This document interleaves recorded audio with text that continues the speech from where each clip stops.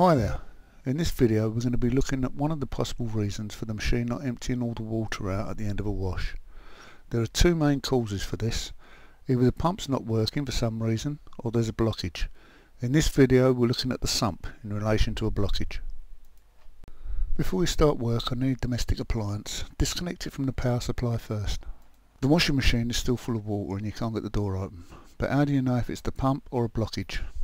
Just tilt the machine backwards and prop it up with a block of wood or something and put the outlet hose in a washing up bowl so it's as low to the ground as possible. If it's fixed to the rear of the cabinet by a clip then undo it. If it's the pump the water should run out into the bowl. If not then you have a blockage. If after about 3 minutes of the machine being disconnected from the mains the door still doesn't open then undo these two screws and remove the top.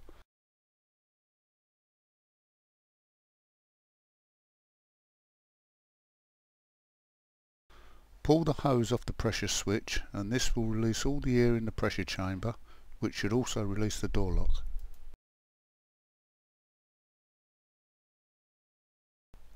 Before you open the door make sure the machine's tilting backwards or you may flood the floor.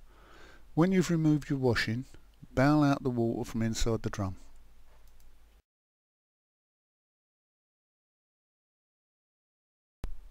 Now move to the back of the machine and undo these screws which are holding the inspection plate on.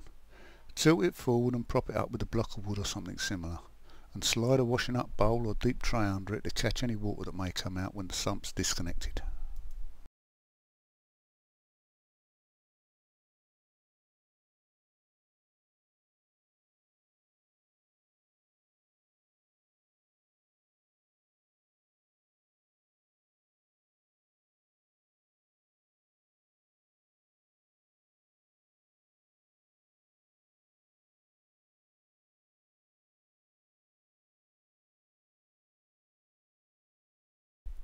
As long as you have a bowl or something under the machine to catch the water, it really doesn't matter which hose you take off first.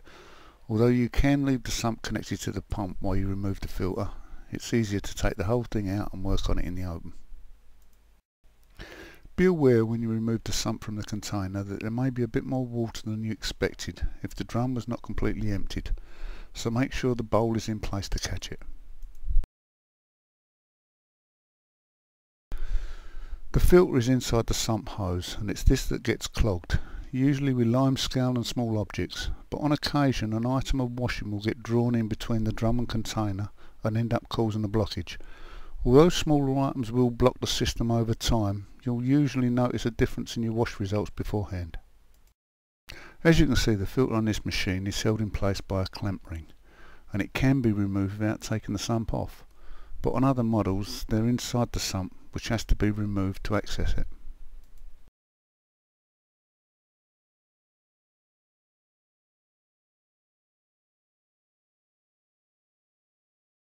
Apart from the item of washing caught in this filter, there's been a build-up of scale and soap residue over a number of washes, which in itself would have caused a problem later on. These filters don't need to be spotlessly clean when they're refitted, but the collar which the clamp ring fits onto should be, or you may get a leak. There's a lip of rubber on the sump that fits into a cutout on the filter rim.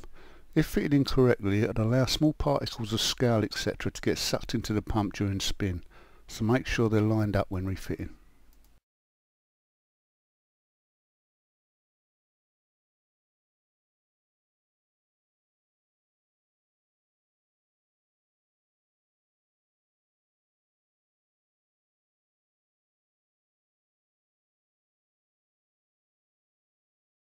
Do the clamp band up tight, but don't over tighten it or you could cut into the rubber of the sump or crack the base of the filter.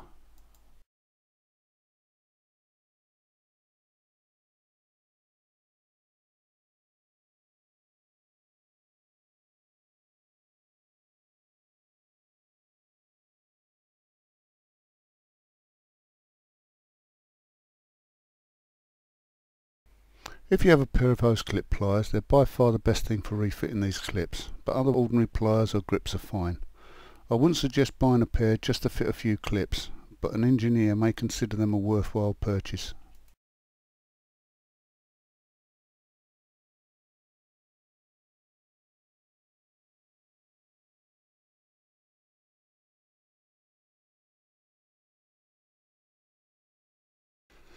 When you're happy that all the hoses are tight and secure and everything's as it should be, then refit the inspection panel and stand the machine up.